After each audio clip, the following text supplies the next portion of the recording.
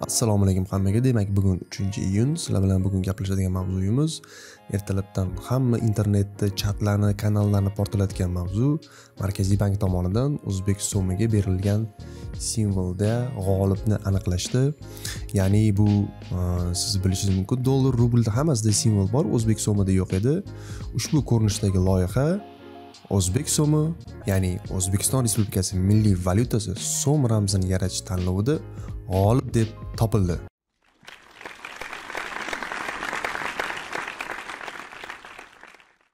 Endi sizlar bilan qisqacha shu valyuta so'm simvol qanaqa chizilishi qanaqa kriteriyalarga ega bo'lishi kerakligi haqida ozgina ma'lumot berishga harakat qilaman.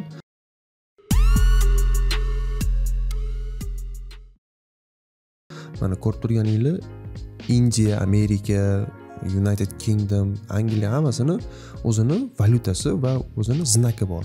Bu nimada yordam beradi? Misol uchun besh ming yetti yuz so'm deb yozib o'tirmaysizda besh ming yetti yuz qo'yasiz va simvolni qo'yib ketaversangiz bo'ladi. Bu ko'pincha yozmada yoki bo'lmasam e, osonlashtirish uchun ko'proq foydalaniladi. Endi shularni qatoriga ham o'zbek so'mi kiradi degan umiddaman ammo so'm simvoli g'olibi e'lon qilingandan keyin telegram kanallar hammasi yozishni boshladi. Ya'ni plagiatda ayblashni boshlashdi o'sha e, yutgan insonni portfoliolari ko'payib ketdi. Hamma yoqda yozishni boshladi. Endi bir chekkadan sekin fikr berishga harakat qilaman. Mana o'zimni qo'limdan kelgancha. Ko'rishingiz mumkinki bakiro bu simvolni ko'proq tuyaga o'xshatishga harakat qilinganlar. Ha qanaqadir ma'noda o'xshagan bo'lishi mumkin. Albatta barcha o'z fikrini bildirishi mumkin ushbu simvolga nisbatan. Endi keyingi telegram kanalni ko'radigan bo'lsanglar muxbir daliyev buni internetda уже bor bo'lgan sayt ya'ni ushbu saytni logotipiga o'xshatibdi ya'ni ikkalasi bir biriga o'xshab qolgan. Ya'ni yana bir marta o'sha ish plagiatda ayblanmoqda.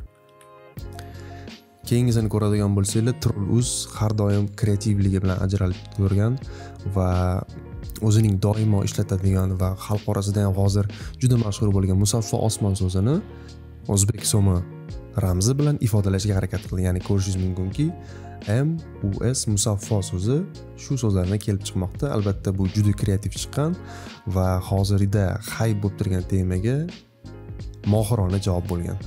Shahnoza soatova blogi ya'ni shahnoza soatova telegram kanalida ham ko'rishingiz mumkin.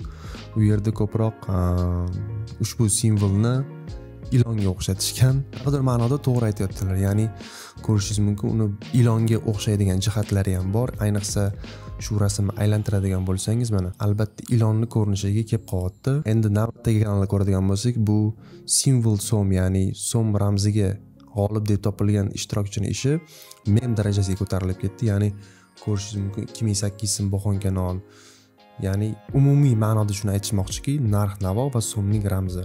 Bir biriga qanchalik bog'liqligini keltirishga harakat qilishgan. Umuman olib aytganda so'm simvoli o'zi qachon e'lon qilingan edi? Mana saytda ko'rishingiz mumkin sakkiz nol ikkinchi fevralga to'g'ri kelyapti. O'sha vaqtda mana saytdagi ma'lumotlarni ko'rishingiz mumkin o'n ming yetti yuz marta ko'rilgan ushbu maqola va markaziy bankning asosiy telegram kanalida e'lon qilinganga qaraganda o'n yetti mingdan oshiq zaявkalar qoldirilgan ya'ni o'n yetti mingdan ortiq ishni ko'rib chiqishgan.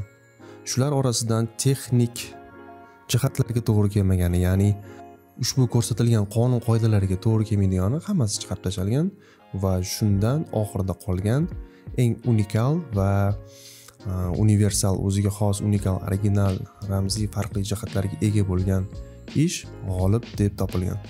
Endi plagiat masalasiga keladigan bo'lsak bitta juda katta muammo bor ya'ni u va s so'zlarini googlega yozib logo deb yozadigan bo'lsangiz mana birinchi bo'lib shunga taklif qilingan ya'ni g'olib deb topilgan simvolga o'xshash juda ko'p variantlar keltirilgan. Albatta mana bunday ko'rinishda bo'lishi ham mumkin edi g'olib yoki bo'lmasa mana bunday ko'rinishda bo'lishi ham mumkin edi endi bu yerda asosiy bildiriladigan fikr nimada? Us amerika so'ziga o'xshab qolyapti birinchi navbatda. Ya'ni united states bo'lib qolyapti.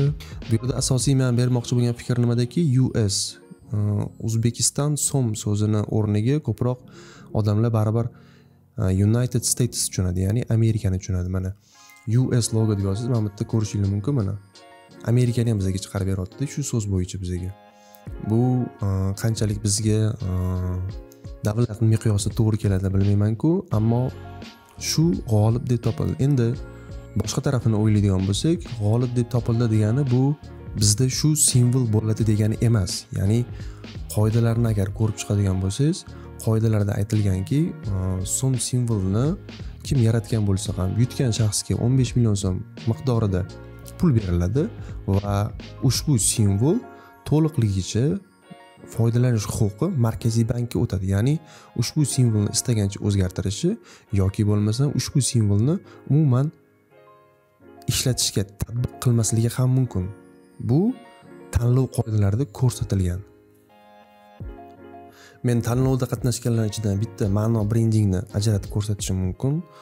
Ma'no brendingda kuchli um, brending bo'yicha dizayn bo'yicha kadrlar ishlashini hisobga olgan holda ularni simvol sizlarga ko'rsatib o'tmoqchiman.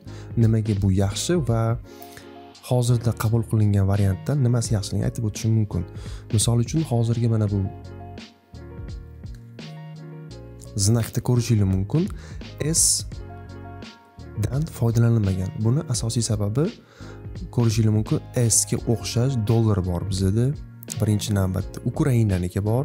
Shulardan ajralgan holda mana ko'rishingiz mumkin e, hech qayerda u harfidan foydalanilmagan. Ya'ni u harfi hozir znaklar ichida ya'ni mana bu so'mmi yoki bo'lmasam boshqa valyutalarni ichida u harfi bo'sh. Bu degani birinchi navbatda bizga unikallikka beradi. U deganda o'zbekiston tushuniladi o'zbekiston tushuniladi. Mana sl juda ko'p yetarlicha. Slarni orasida yo'qolib ketmasligi uchun u juda yaxshi variant edi. Endi bundan keyin o'zini ma'nosini chiqarib berishga ham harakat qilishgan ma'no brendinglar keyinchalik uni ishlatilishini ham ko'rsanglar. Misol uchun s harfi oddiy hozirda g'olib bo'lgan s harfida sakkizga o'xshash joylari bor. Ya'ni uzoqdan qaraganingizda sakkiz va s harfi bir biriga o'xshash bo'lganligi uchun o'qishda ham va yozishda ham qiyinchilik tug'diradi. Chunki hozirgi logotip ko'radigan bo'lsanglar ya'ni znak ko'radigan bo'lsanglar u va sni qo'lda chizishga ketayotgan vaqt yoki uni to'g'ri chizishga ketayotgan vaqt ushbu u harfini chizishdan juda oson. Uni hammamiz bilamiz o'rtasidan ikkita chizib o'tkazamiz. Bo'ldi.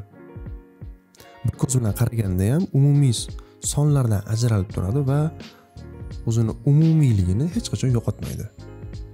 Agarda kimgadir qiziq bo'ladigan bo'lsa ushbu konkursda yutgan odamni ko'p telegram kanallarda уже ko'rsatishdi. Ya'ni weblancer saytida va freelance xabar точка saytida o'zini ishlarini joylashtirgan ushbu konkursda g'olib bo'lgan inson kirib agar sizga qiziq bo'ladigan bo'lsa ishlarini ko'rib chiqishingiz mumkin. Mana xalq banki bilan birga ishlagan ekanlar bundan tashqari uh, veb dizayn bilan shug'ullanar ekanman mana sifatli mebel ushbu saytga kirib ham ko'rishingiz mumkin. Mana logotip bilan shug'ullanadi agarda siz ham ushbu konkursda qatnashgan bo'lsangiz variantlaringizni kommentda qoldiring. Birga fikr yuritamiz va dizayndan hech qachon uzoqlashmang.